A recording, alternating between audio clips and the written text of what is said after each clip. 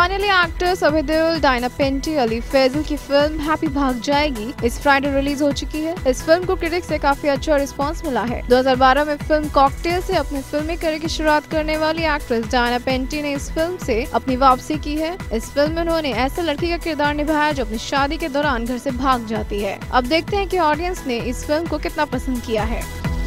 Good, nice. What about the performance? Uh, Piyush Mishra was outstanding, and Diana Penty. It's hilarious. What is the best thing you like about Diana? Uh, humor plus romance with emotions. What about the performance? Everybody, everybody. Piyush Mishra stands out. बहुत अच्छी hilarious movie है आपको जाके मैं तो सारे audience को यही कहूँगी अगर आपको हंसना है तो प्लीज़ आकर के मूवी देखिए परफॉर्मेंस मतलब ऑल ओवर गुड मतलब आप किसी चीज़ में ये नहीं कह सकते हाँ इस चीज़ को ज़बरदस्ती डाला गया है बहुत सारी फ़िल्में होती है कुछ सीन्स ज़बरदस्ती डाल जाते तो हैं लेकिन इसमें ऐसा कुछ भी नहीं है डायना पेंडी का भी कम बहुत अच्छा है अभय देवल भी ग्रेट है और जिमी जी की तो बात ही खैर छोड़ दीजिए। फ़िल्म अच्छी लगी अ, बांधे रखती है but at the same time punches थोड़े और ज़्यादा होने चाहिए थे। Story is very good performance बाद?